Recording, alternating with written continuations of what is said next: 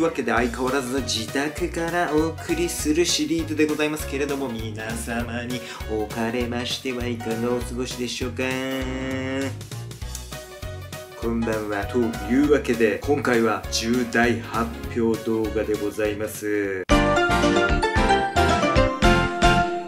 一部熱狂的支持者に支えられてきましたけれども特にお笑い業界において何の爪痕も残すことなく話題にならなかったあの伝説の企画2023年夏徒歩の旅ど根性散歩ついに大復活というわけでやってやろうと思っておりますよ。というわけでマジでどうでもいい。いや知らねえよ。っていう声が上がってきそうな私の決意なんですけれども、まだまだ油断ならないとはいえ、コロナ禍が一旦ね、落ち着いてきたんじゃないか説が囁かれております。状況も踏まえて、なおかつ、あの実家の広島から東京まで上京する徒歩の旅がですね2013年に行われてから10年が経つ節目の年というわけでね、今年はね、ちょっと歩いてみようかなっていうことをね、思いつきまして、え今回の決断というわけなんですけれども、ルートはですね、下の概要欄に詳しくは載せておきますけれども、気になる目的地は、そう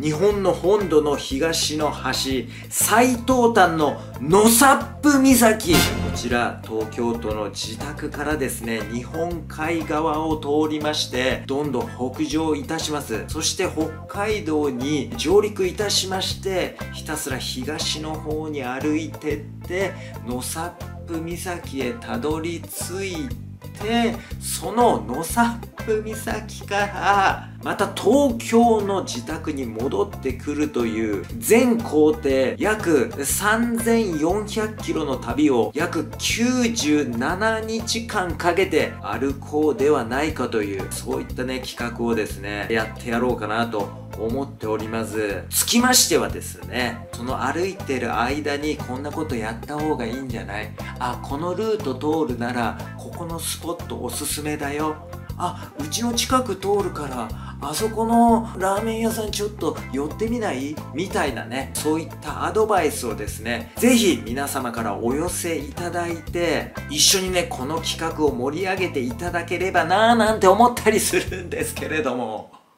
こちらのね、動画をご覧になってる方ならお分かりかと思いますけれども、まあですね、私、えーとですね、あまりにもコメントがひどくて、え、ちょっと精神的に参っちゃった時期から、まあほぼコメントを見てないんですけれども、まあ、ひどい人がおそらく多分いると思うんですよね。そんな方々に対して、えー、ここからはね、まあ、お願いなんですけれども、皆様の方でですね、そういった方々をですね、取り締まるじゃないですけれども、ちょっとね、えー、注意するだとか、誹謗中傷を見つけた際にはですね、えー、報告をするみたいなことで、えなるべくね、えー、私の目に触れないように、えー、処理していただくみたいなね、えー、協力なんかをね、お願いできればななんて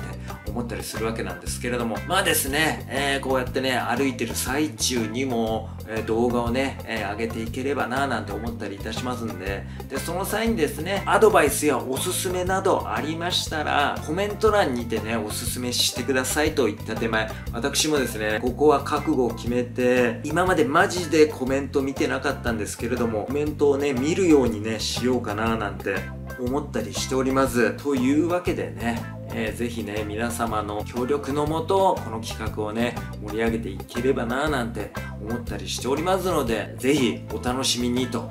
いったところでね、この夏の決意動画でございました。よかったらですね、この動画を広めていただいて、こんな馬鹿げたチャレンジするアラフィフおじさん芸人がいるよみたいなことでね、盛り上がったらいいなっていうことをね、期待しておりますので、ぜひね、ご協力をお願いしますといったところで、いろいろね、その徒歩の旅に関する動画なんかもね、えー、この先ちょくちょく上げていけたらななんて思ったりしております。といったところでね、また次回の動画でお会いいたしましょう。えー、本日は、この夏、2023年の大決意表明の動画というわけでお送りいたしました。ご視聴いただきましてありがとうございました。バイバイバイバイバイ。バイバイバイバイバイ。